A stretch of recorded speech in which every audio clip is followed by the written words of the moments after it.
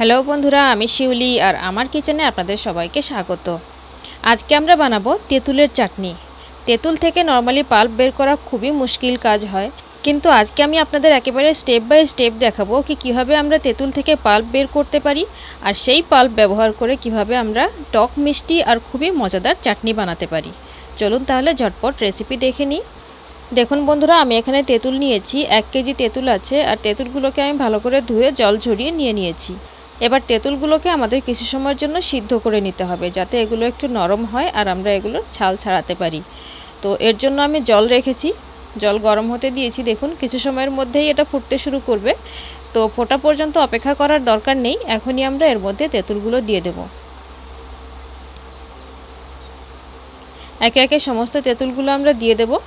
আর ঢেকে রেখে তিন থেকে চার মিনিটের জন্য সিদ্ধ হতে দেব। খুব বেশি সময় সিদ্ধ করার দরকার নেই, পুরোপুরি সিদ্ধ হওয়ার দরকার নেই, ভেতর থেকে কাঁচা থাক, কিন্তু খোসার নিচে থেকে একটু নরম হলেই চলবে। এর জন্য তিন থেকে চার মিনিট আমাদের ঢেকে সিদ্ধ হতে দিতে হবে।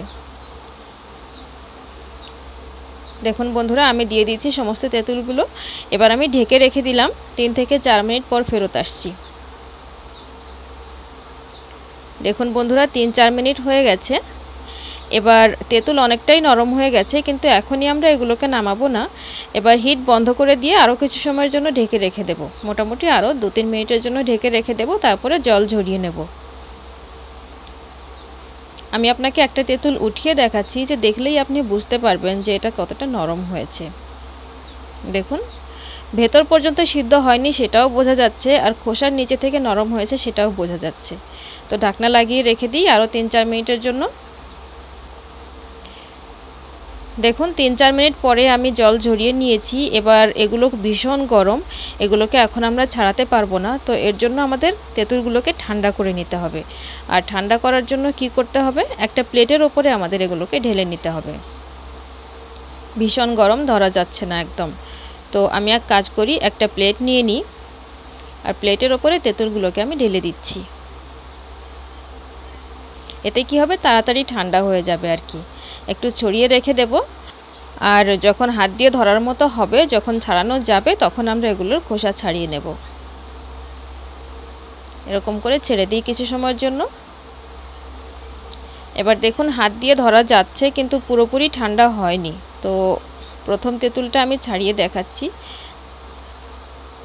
যথেষ্ট গরম আছে, বন্ধুরা।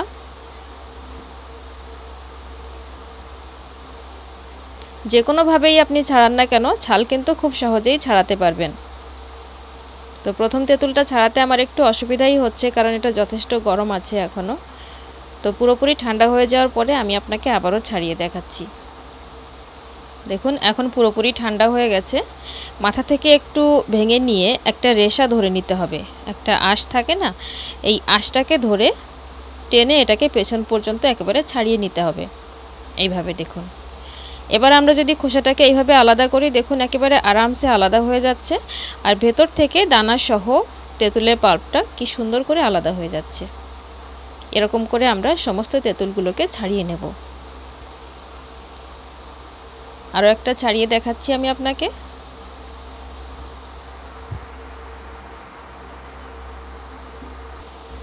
দেখুন, একেবারে সেম প্রসেসে এরকম করে আমরা বাকি সমস্ত তেঁতুলগুলোকে ছাড়িয়ে নেব। সব তেঁতুলগুলো আমার ছাড়ানো হয়ে গেছে, আপনি দেখতে পাচ্ছেন। এবার আমরা এর মধ্যে একটুখানি জল দেব, যাতে আমরা এগুলোকে আবারও সিদ্ধ করতে পারি। কারণ তেঁতুলগুলো কিন্তু এখনও পুরোপুরি নরম নয়, আর এর থেকে আমরা পাল্প আলাদা করতে পারব না। তো এই জন্য একটুখানি জল দেব, বেশি নয়, একটুখানি দেব, যাতে সিদ্ধ করার সময় নিচে পুড়ে না যায়। এই জন্য একটুখানি জল দিয়ে আমরা চলুন গ্যাসের ওপরে বা ইন্ডাকশানের ওপরে বসিয়ে দিই।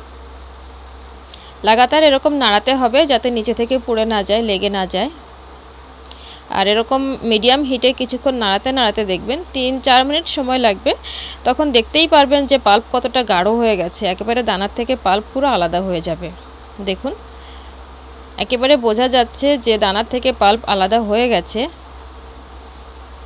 তো এবার আমরা হিট বন্ধ করব আর এই যে মিশ্রণটা, এটাকে আমরা ঠান্ডা হতে দেব। কারণ গরম গরম তো আমরা দানাগুলো আলাদা করতে পারব না হাতই দিতে পারব না। তো চলুন হিট বন্ধ করে দিই। আর ঠান্ডা হতে দিই। দেখুন বন্ধুরা, তেঁতুলের পাল্পটা কিন্তু একেবারে ঠান্ডা হয়ে গেছে। এবার আমরা হাত দিয়ে এটাকে সুন্দর করে দানাগুলো আলাদা করে নেব। এর জন্য আর একটা সসপ্যান নেব, যাতে আমরা দানাগুলো উঠিয়ে নিয়ে রাখতে পারি। দেখুন, এরকম করে হাত দিয়ে নিংড়ে নিংড়ে দানাগুলো আমরা আলাদা করে দেব। চলুন, এরকম করে সমস্ত দানাগুলোকে আমরা আলাদা করে নিই, আর পাল্পটা আমাদের আলাদা হয়ে যাবে।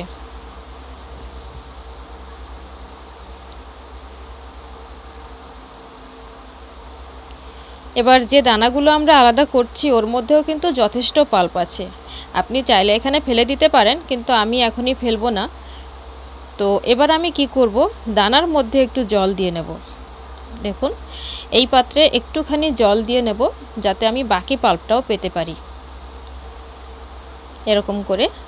এবার এখান থেকে যদি আমরা দানাগুলো আলাদা করি, তাহলে কিন্তু আমাদের একেবারে সমস্ত পাল্পটা আমাদের হাতে চলে আসবে। দেখুন, দানাগুলো আমি ফেলে দিচ্ছি এবার।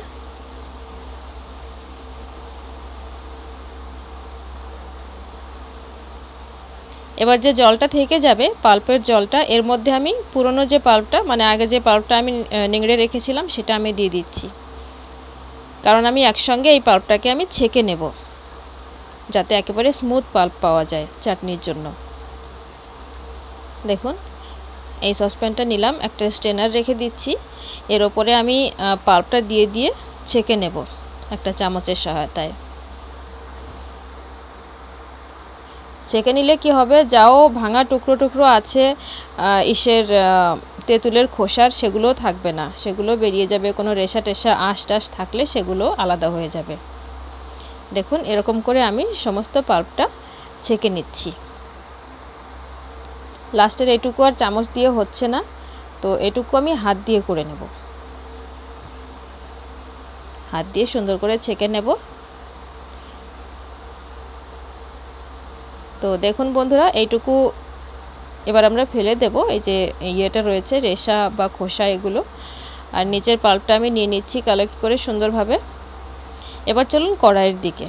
ইন্ডাকশান চালু করেছি আমি। এই হচ্ছে খরবুজের বীজ। খরবুজ মানে হচ্ছে যেটাকে ফুটি বা বাঙি বলে বাংলাতে। তো, বাঙির বীজগুলোকে আমি ভেজে নিচ্ছি, কারণ চাটনির মধ্যে আমি এগুলোকে দেব। আপনি চাইলে এটাকে স্কিপ করতে পারেন, এতে স্বাদের কোনো পরিবর্তন হয় না চাটনিতে, দেখতে খুব সুন্দর লাগে এই জন্য তো, আপনি চাইলে এটাকে বাদ দিতে পারেন, কোনো অসুবিধা নেই। আমি মিডিয়াম হিটে তিন থেকে চার মিনিটের জন্য ভেজে নিলাম, তারপরে আমি তুলে একটা বাটিতে নিয়ে নিচ্ছি। এটা পরে আমরা মিশিয়ে দেব। এবার কড়াইয়ে আমি তেল দিয়ে দেব।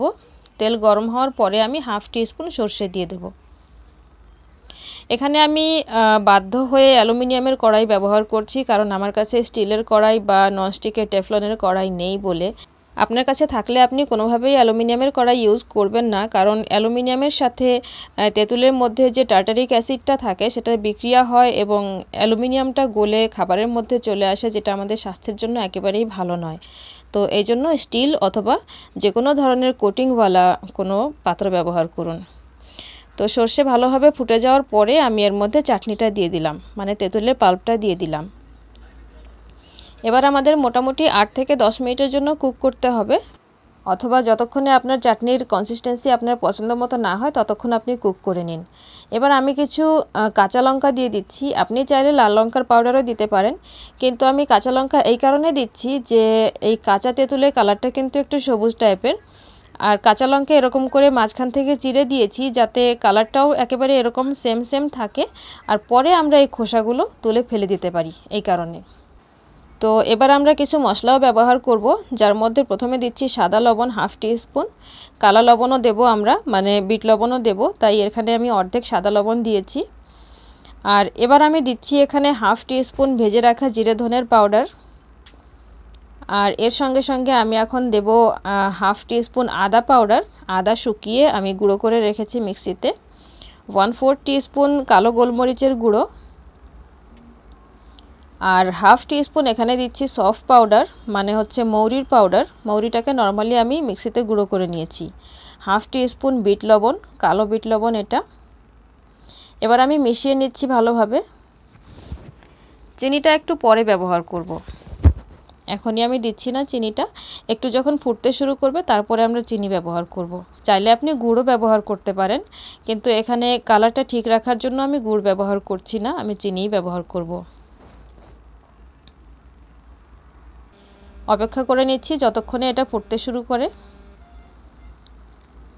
দেখুন বন্ধুরা, চাটনি খুব ভালোভাবে ফুটতে শুরু করেছে এবার আমরা এর মধ্যে চিনি অ্যাড করব কিন্তু চিনি আপনি নিজের পছন্দ মতোই অ্যাড করবেন। এর কোয়ান্টিটি আমি বলে দিচ্ছি না। কাঁচা তেঁতুল একটু বেশি টক হয়, তাই হিসাবের থেকে একটু বেশিই লাগে। পাকা তেঁতুলের যখন আমরা চাটনি করি, সেই হিসাবে এখানে একটু বেশিই চিনি লাগে। তারপরও আমরা দিয়েছি চিনি। এবার আমরা টেস্ট করে দেখব চিনি গলে যাওয়ার পরে লাগলে আমরা আরও দেব। তো চিনি গলে গেছে আর আমার কম মনে হয়েছে, তো আমি আরও চিনি ব্যবহার করছি। আপনিও এরকম টেস্ট করে দেখবেন, লাগলে আরও দেবেন। নিজের হিসাব মতো ব্যবহার করবেন। দেখুন, আরও চিনি আমি দিয়ে দিয়েছি আর এবার আমাদের একেবারে ঠিক হয়েছে। আর দেখুন চাটনির কনসিস্টেন্সি যথেষ্ট গাঢ় হয়ে গেছে আর ঠান্ডা হয়ে গেলে আরও গাঢ় হয়ে যাবে। আর আমি অ্যাকচুয়ালি খুব বেশি গাঢ় করব না, একটু সস টাইপের কনসিস্টেন্সি রাখতে চাইছি। তো এই হচ্ছে আমার কনসিস্টেন্সি দেখুন। এই রকম খুব একটা গাঢ় নয়, একটু পাতলা টাইপেরই আছে, ঠান্ডা হলে একটুখানি গাঢ় হবে আর কি। তো আপনিও আপনার পছন্দ মতো গাঢ় করে নিন, যতটা গাঢ় করতে চান ততটা গাঢ় করে নিন। এবার কথা হচ্ছে কি, এই চাটনিটাকে আপনি নর্মাল ফ্রিজে রেখে মোটামুটি দেড় থেকে দু মাস পর্যন্ত খেতে পারেন। কিন্তু যারা আমার মতো গরিব মানুষ, যার বাড়িতে ফ্রিজ নেই, তার তো বাইরেই স্টোর করতে হবে। তো সেই ক্ষেত্রে আমরা করব, এর মধ্যে আমি দুই টেবিল চামচ সিরকা বা ভিনেগার দিয়ে দিলাম, সাদা ভিনেগার তো এবার আমরা এই চাটনিটাকে ফ্রিজের বাইরেই মোটামুটি আড়াই থেকে তিন মাস পর্যন্ত স্টোর করে খেতে পারব। এবার সবার শেষে আমি যে খরবুজের বীজগুলো রেখেছিলাম ভেজে, সেগুলো দিয়ে দিলাম আর মিলিয়ে দিচ্ছি। আবারও বলছি, এটা একেবারে অপশনাল এটা শুধুমাত্র দেখার জন্য, দেখার সৌন্দর্যের জন্য। এতে স্বাদের কোনো প্রকার কোনো ডিফারেন্স হয় না। তো আপনি চাইলে এটা স্কিপ করতে পারেন আর চাইলে দিতেও পারেন। তো হয়ে গেছে আমাদের চাটনি। এবার যেহেতু আমাদের এটা অ্যালুমিনিয়ামের কড়াই, তাই আমি সঙ্গে সঙ্গে এটাকে ট্রান্সফার করে নেব একটা স্টিলের পাত্রে। স্টিলের একটা সসপ্যান ছিল আমার কাছে, সেটাতে আমি সঙ্গে সঙ্গে ট্রান্সফার করে নিলাম। আর এবার আমি চাটনিটাকে একেবারে ঠান্ডা হতে দেব। আর ঠান্ডা করার পরে আমি আপনাকে একটা বাটিতে করে সার্ভ করে দেখাবো যে কতটা গাঢ় হলো আর কি। সঙ্গে সঙ্গে ট্রান্সফার করছি কারণ যে বেশিক্ষণ পর্যন্ত এই অ্যালুমিনিয়ামটা গলে আমার চাটনির মধ্যে না আসে, এই আর কি। তো চলুন এখন ঠান্ডা হতে দিই। আর তারপরে আমি একটা বোতলে বা এয়ারটাইট কন্টেনারে ভরে আমি রেখে দেবো। দেখুন বন্ধুরা, চাটনিটা কিন্তু একেবারে পাকা তেঁতুলের চাটনির মতোই স্বাদের মানে একই রকম লাগে। একটুখানি এর মধ্যে টক ভাবটা বেশি থাকে আর পাকা তেঁতুলের মধ্যে একটু মিষ্টি ভাব হয়ে যায়, এই আর কি।